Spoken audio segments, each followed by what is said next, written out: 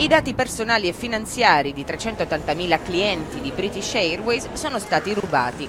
Lo ha comunicato la compagnia aerea specificando che ad essere stati sottratti sono stati i dati dei passeggeri che hanno prenotato online o con l'app della compagnia tra il 21 agosto e il 5 settembre. Pare che non siano stati compromessi i dati relativi al viaggio e ai documenti d'identità.